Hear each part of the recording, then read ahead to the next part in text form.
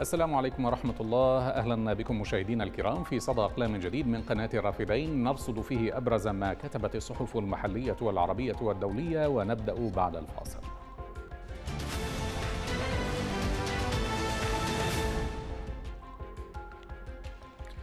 البداية من صحيفة القدس العربي ومقال للكاتب مثنى عبد الله. بعنوان الحالة العراقية تحت مجهر هيئة علماء المسلمين. يقول الكاتب دأبت هيئة علماء المسلمين في العراق على رصد الواقع العراقي اليومي من خلال إصدار تقرير دوري يوثق ما يدور في عموم البلاد من أوضاع سياسية وأمنية واقتصادية وإنسانية. ويمكن القول إن تقييم الهيئة الواردة في تقاريرها يتصف بالنزاهة بشكل كبير رغم أنها جهة معارضة للعملية السياسية وللوضع القائم في العراق. ويعزى هذا الموقف إلى سببين رئيسيين. الأول بحسب الكاتب هو أن ليس للهيئة طموحات سياسية متعلقة بمزاحمة الآخرين, للوصول إلى السلطة. وبالتالي هي ليست معنية بتشويه الحقائق وإبرازها بشكل مغاير للواقع. أما أما السبب الثاني فهو أن الهيئة هيئة شرعية وليست هيئة دينية بمعنى أنها لو كانت هيئة دينية لاقتصر نشاطها على الأمور الدينية وتركت الأمور الدنيوية. لكنها هيئة شرعية واجباتها تغطية الجانبين الديني والدنيوي بما فيها من مشاغل للناس والشأن العام وفقا للكاتب. تأتي التقارير الدورية لهيئة علماء المسلمين في العراق لتفتح قوة في جدار التعتيم الإعلامي الذي تمارسه جهات عربية وأقليمية ودولية على القضية العراقية. ولتوضح بشكل شفاف طبيعة الزيف والحقائق المفتعلة على أرض الواقع فقد تضمن التقرير الصادر عن الهيئة في الحادي عشر من شهر سبتمبر أيلول الجاري الحقائق التالية. أولاً إن الضجة القائمة اليوم بخصوص انتخابات مجالس المحافظات ليس لها أي علاقة بطبيعة المهام الملقاة عليها في النهوض بالواقع الخدمي والاجتماعي للمواطنين بل الصراع الأكبر بين الأحزاب للفوز بها قائم على أساس أن هذه المجالس مجرد وسيلة من وسائل الكسب المادي غير المشروع وتثبيت الهيمنة والتسلط على رقاب المواطنين. ثانياً إن الاحتلال الأمريكي ما زال قائماً على أرض الواقع مادياً ومعنوياً، وإن التفاخر بالسيادة ووجود دولة وسلطات منتخبة مجرد محض خيال والدليل على ذلك ما شهده الواقع العراقي من تحركات لقوات أمريكية في المدن والبلدات العراقيه وعلى الحدود. عجزت هذه الدولة والسلطات عن فهم مغزاها أو إعطاء تفسير مبين عن غاياتها وأهدافها بل انتابهم الخوف منها وذهبوا لوضع قواتهم وعناصر ميليشياتهم في حالة إنذار قصوى. ظنا منهم أنهم هم المستهدفون من هذه التحركات ونبقى مع مثنى عبد الله ومقاله الحالة العراقية تحت مجهر هيئة علماء المسلمين. يقول الكاتب إن تقرير هيئة علماء المسلمين فضح طبيعة اللعبة السياسية القذرة في العراق. فيشير خامسا إلى أن التغييب والإخفاء القسري ما زال ورقة مهملة في الأجندات المحلية والدولية. فبالرغم من أن المنظمات الدولية تشير في بياناتها إلى استمرارية هذه الحالة المتناقضة تماما مع كل الشرائع الدولية المختصة بحقوق الإنسان لكن انعدام الإجراءات العملية بهذا الملف ما زال ساريا. بل الأنكى من ذلك أن بعض المتهمين بملف التغييب يتم التغاضي عن جرائمهم في اللقاءات التي تتم بينهم وبين الجهات التي تدعي الدفاع عن حقوق الإنسان. إن التقارير الدورية الصادرة عن هيئة علماء المسلمين في العراق تلقي حزمة ضوء ساطع على طبيعة النظام السياسي القائم وعلى الواقع الاجتماعي والاقتصادي والأمني والسياسي والإنساني في البلاد وأنها تثبت بالدليل الواضح أن النظام السياسي يقف في طريق مسدود سياسياً.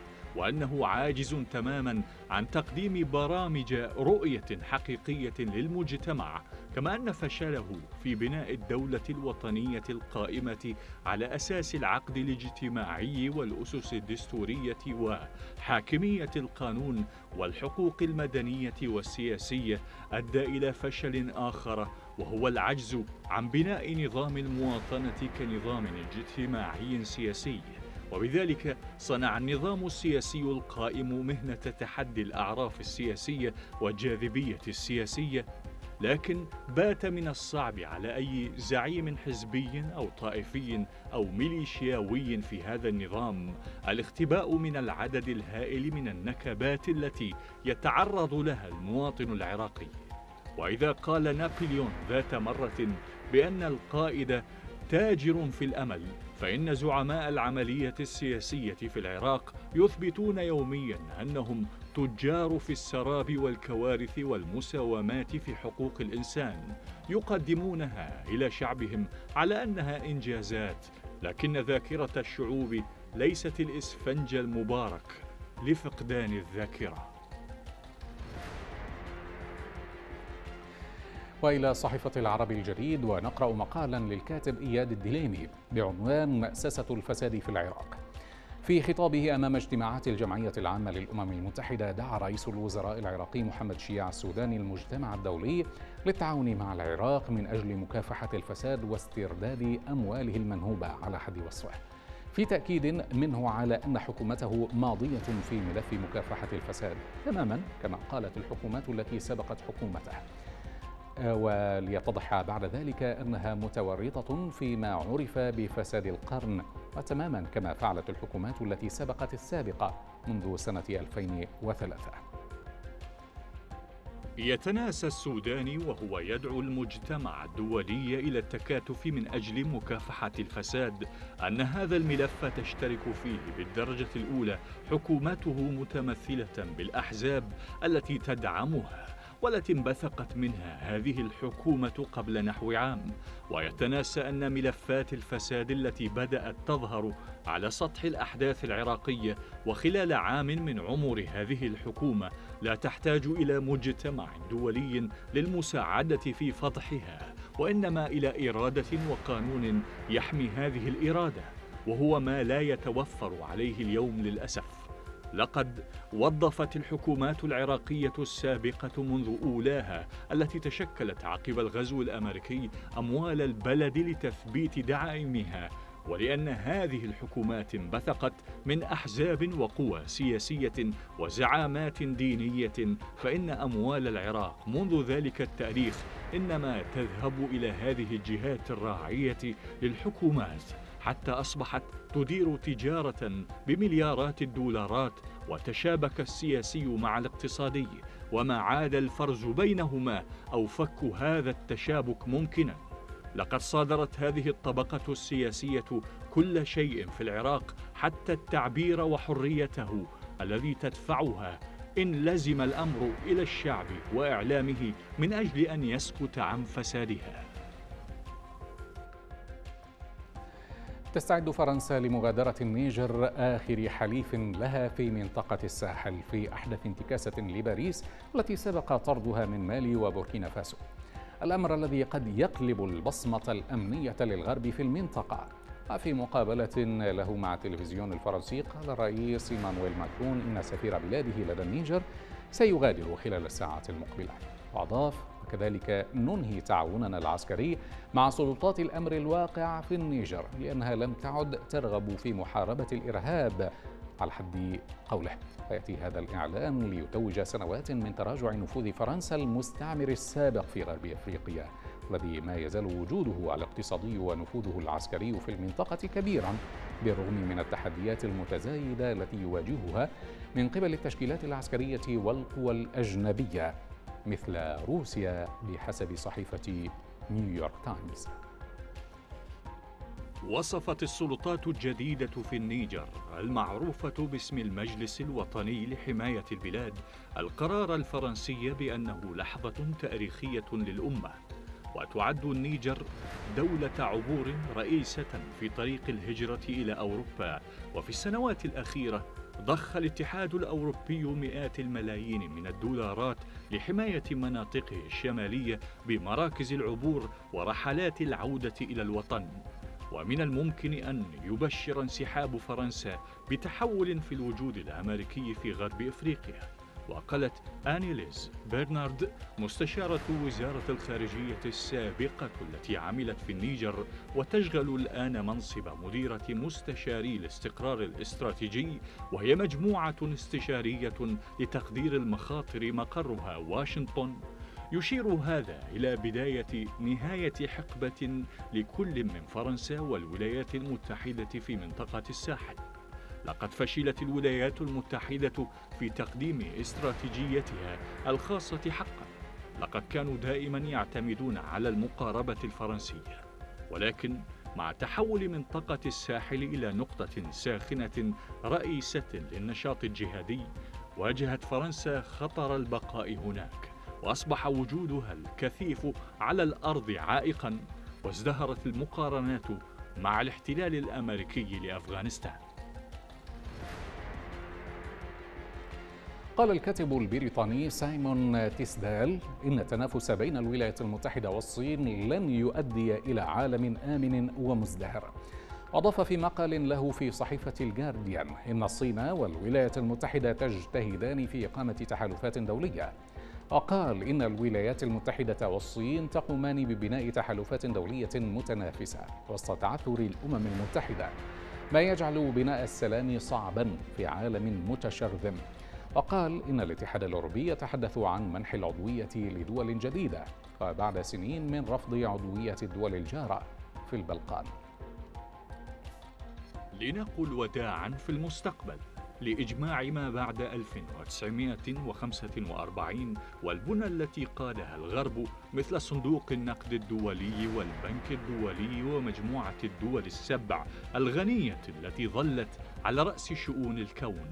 وباختصار فإن ما يجري حاليا هو تنافس من ثلاث طرق فهو يضع النظام القائم الذي هيمنت عليه الولايات المتحدة الديمقراطي والليبرالي والفاقد مصداقيته ضد الأنظمة العالمية الصاعدة الدكتاتورية والماركنتالية والمخربة. وتحت توجيه الصين يبدو أن هناك تدافعا بين الحكومات لخلق تحالفات وكتل اقتصادية ومالية وتجارية أو الانضمام لبعضها وتوسيع الآخر بحيث تتناسب مع الزمن المتغير وتستجيب للمخاوف والأولويات. ولا شك أن هناك حاجة للتغيرات البنيوية فنظام الأمم المتحدة يتصدع ومجلس الأمن هامد وتحولت مؤسسات المنظمة الدولية مثل منظمة الصحة العالمية إلى ساحة حرب سياسية. وعلينا أن نكون واضحين. فالمعركة لإعادة تغيير النظام الجيوسياسي العالمي ليس عن خلق حياة أفضل وعالم يعمه السلام وتتساوى فيه الفرص. فالدول المتوسطة والصاعدة مهما كانت سيتم استغلالها والتلاعب بها من قبل الدول الكبرى كما في الماضي فالتنافس الدولي الجديد يؤججه التنافس على القوة والتأثير والمصادر والخوف المتبادل.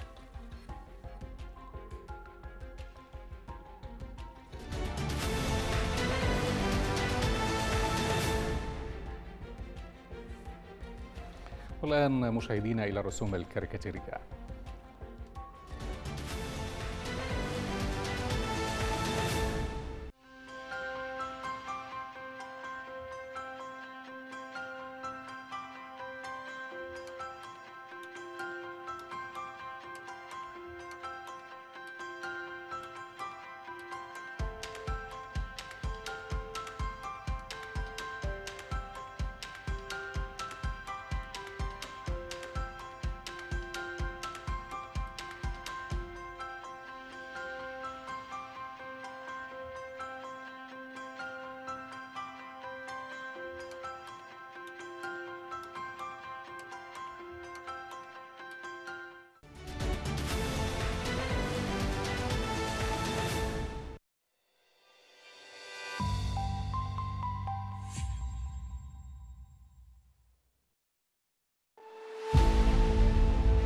نواكب الأحداث ونلاحق التطورات والمستجدات.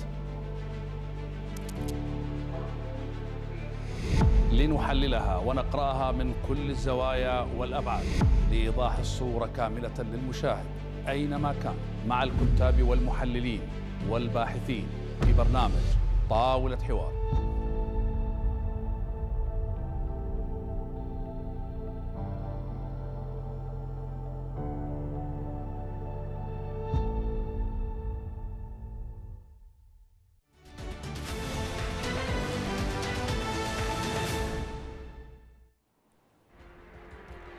في عمل فني وصف بأنه الأول من نوعه في العالم تعتزم منظمة بريطانية أو منظمة بريطانية في مقاطعة ويست ميدلاندز البريطانية عرض تمثال يحتفي بالنساء المحجبات. والتمثال الذي يحمل اسم قوة الحجاب هو من تصميم الفنان لوك بيري. من المقرر أن يزاح عنه الستار في تشرين الأول أكتوبر القادم في بلدة سميثويك قرب مدينة برمنغهام. ويبلغ طول التمثال حوالي خمسة أمتار ويصل وزنه إلى طن واحد. تم تصميم التمثال بطلب من منظمة التراث في ويست ميدلاندز وهي منظمة خيرية تعنى بالاحتفاء بتراث المجتمعات المهاجرة في فترة ما بعد الحرب العالمية الثانية في برمنغهام. وسبق أن نفذ بيري أعمالا مثل تمثال تاريخ سود بريطانيا هو تاريخ بريطانيا الذي تشارك في تنفيذه مع الفنان كنعان براون وهو يعرض في منطقة وينسون جرين منذ أيار مايو الماضي.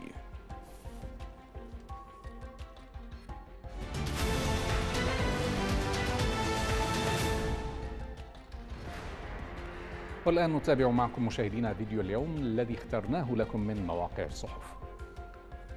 محتاجين لتأهيل نفسي نحن تعبانين عيالنا تعبانين آه، ومرضى.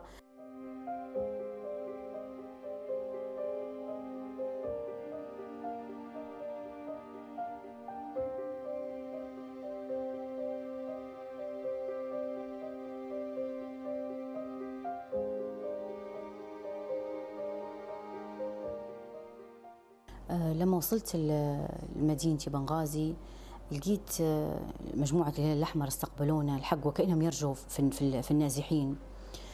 آه، دخلت طبعا أنا أول ما جيت قالوا لي شن تبي بس قلت لهم أنا ما نبي شيء أنا لا نبي منزل ولا نبي أكل ولا نبي شرب أنا عندي بنتي منفجعة بنتي مصدومة بنتي حالتها متداورة صحية فبالله عليكم نبي نشوف دكاترة في أقرب وقت. قالوا لي البنت مصدومة والبنت تحتاج علاج نفسي قبل ما تبدي في علاج آخر.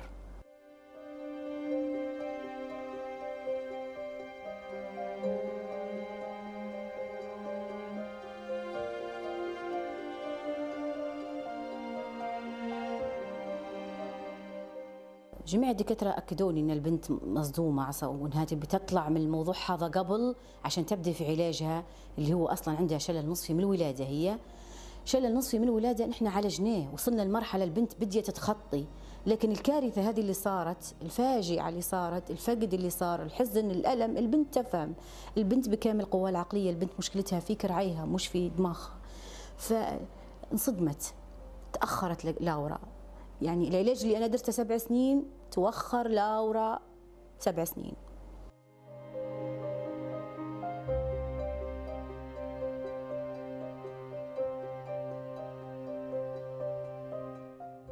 ما عادش في شوارع ما عادش في مدينة المدينة متسحق بالكامل بهلها بناسها بكل بلها. رديت الحوشي من هارة رديت نبكي. عش عرفت نبكي من ولا علي من.